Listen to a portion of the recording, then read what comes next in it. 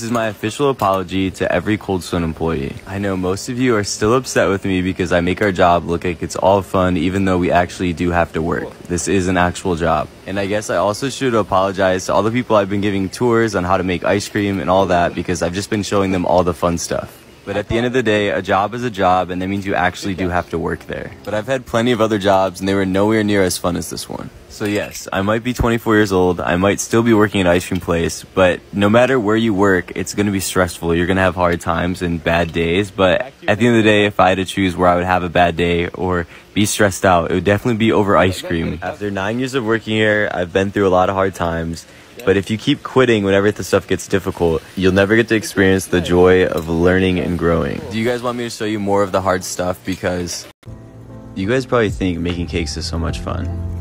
But honestly, I've done it for so long that I'm kind of numb to it a lot of the time. But the thing I really do enjoy is the events the cakes are for. And this one has to be one of my favorites. This is for my friend Dell.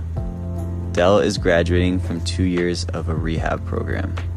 She said her favorite colors were blue and yellow, and I figured a sunset slash sunrise theme would be perfect.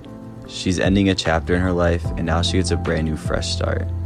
Just like a sunrise every day. Let's show her some love for this big accomplishment in her life.